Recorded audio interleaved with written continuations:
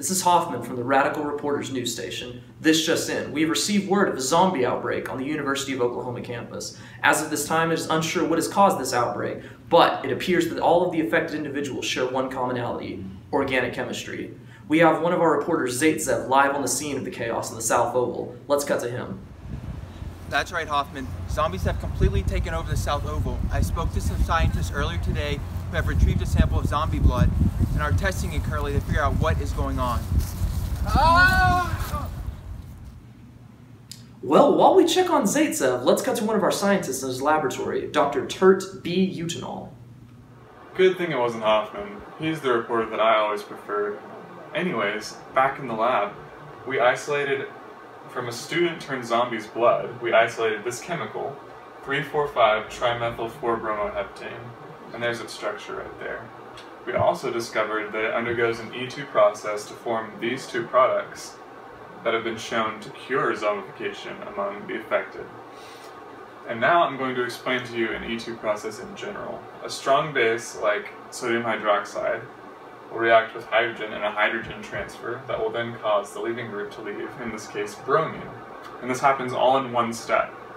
And after that, of course, the, a pi bond is formed between the, the, electrons. So like there's the pi bond, there's a pi bond. You following?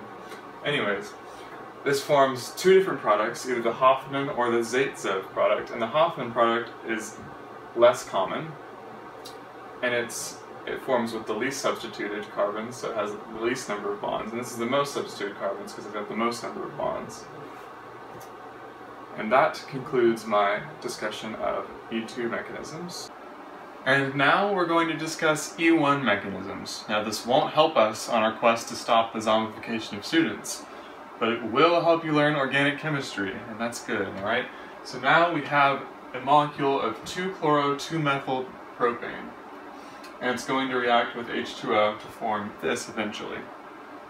But first, with an E1 mechanism, you're going to have the loss of a leaving group. And chlorine is a very good leaving group, so it's going to go ahead and just leave, like I said. And that forms a carbocation.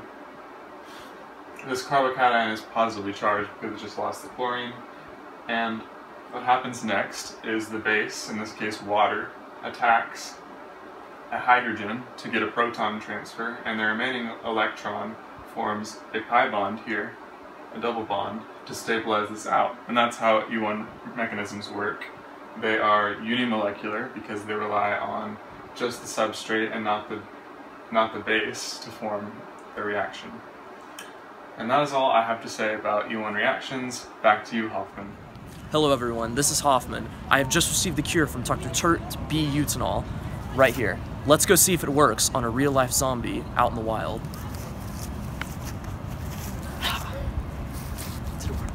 cured! The cure works. Now we can go and cure all of the students across OU's campus. Huzzah!